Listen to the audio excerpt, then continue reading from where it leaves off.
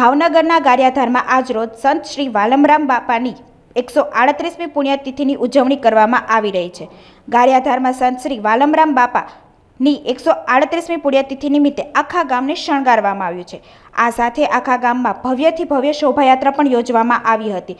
પટેલવાડીમાં blood donation camp તેમજ બટુક ભોજનનું આયોજન કરવામાં આવ્યું હતું.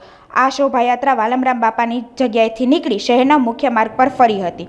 આ સાથે ગામમાં તમામ વેપારીઓ દ્વારા પોતપોતાના રીતે ધર્મસ્થળ દ્વારા નાસ્તો તેમજ સરબત સ્ટોલ પણ રાખવામાં આવ્યા હતા. આ ઉપરાંત રાત્રે ભવ્ય લોક ડાયરો પણ યોજાયો હતો. આ કાર્યક્રમમાં બહોળી સંખ્યામાં લોકો જોડાયા હતા. આજે પૂજ્ય બાપાની એકસો ને આડત્રીસમી પુણ્યતિથિ હતી.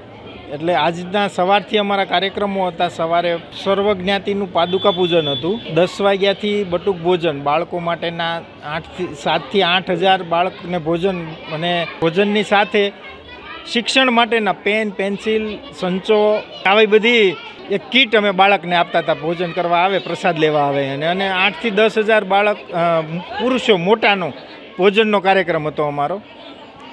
પછીનો અમારો ત્રણ વાગ્યાથી ગારિયાધારની ફરતે શોભાયાત્રા ફરવાનો કાર્યક્રમ હતો. એટલે હજી શોભાયાત્રા ચાલુ જ છે, એટલે ત્રણ વાગ્યાથી શરૂ કરી અને સાત વાગ્યા સુધી અમારી શોભાયાત્રા ફરે. શોભાયાત્રામાં વિવિધ સ્થળો ઉપર, એટલે લગભગ અમારી શોભાયાત્રાનો રૂટ બે કિલોમીટર જેવો લાંબો હશે. એમાં પચાસેક તો જુદા જુદા સ્ટોલો છે કે શરબત હોય, આઈસ્ક્રીમ હોય, ભજીયા હોય, ભેળ હોય, ઘણી બધી અનેક વસ્તુઓ હોય છે. એમાં પાણી હોય છે, ચા હોય છે. આ બધી વસ્તુઓ ખાતા ખાતા અને પર- પ્રસાદ લેતા લેતા અમે સાત વાગે બાપાની જગ્યામાં પહોંચી અને મહાઆરતીનો કાર્યક્રમ કરીએ છીએ. અને પછી અમે બધા સંત, રાત્રે સંતવાણી કાર્યક્રમ કરીને છૂટા પડીએ છીએ.